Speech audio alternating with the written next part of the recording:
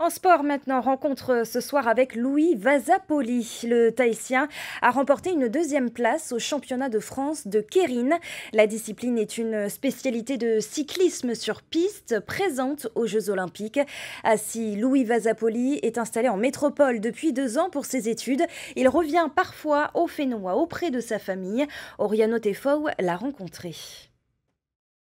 Depuis un an, Louis évolue dans un club de hier, dans le sud de la France. Du 11 au 17 août, il s'aligne au championnat de France de cyclisme sur piste, dans trois épreuves de vitesse. La vitesse individuelle, le kilomètre contre la montre et le kérine, une spécialité où les coureurs sont menés par un motocycle. On est six sur la ligne de départ.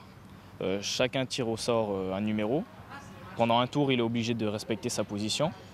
Euh, la moto nous lance sur trois tours et nous lâche à 50 km/h. Et après, on finit euh, les trois derniers tours en sprint. Euh.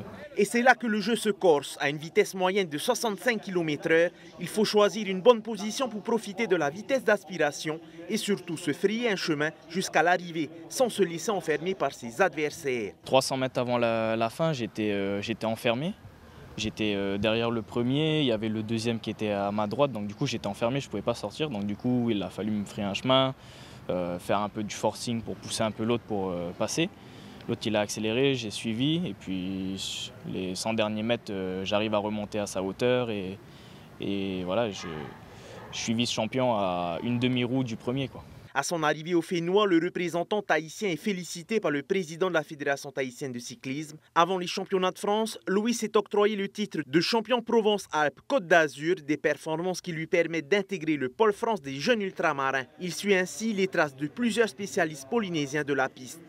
Sur le on a eu des champions comme Paul Bono, comme Victor Raoul, et dernièrement Arita Bernardino, et maintenant Loïs.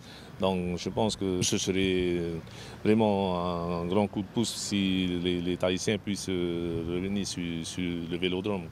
Le pôle France de jeunes ultramarins ouvrira ses portes l'an prochain à Hier. Louis sera le seul Tahitien avec une réunionnaise et deux Martiniquais. Son objectif, intégrer l'équipe de France et pourquoi pas viser une place au JO de Paris.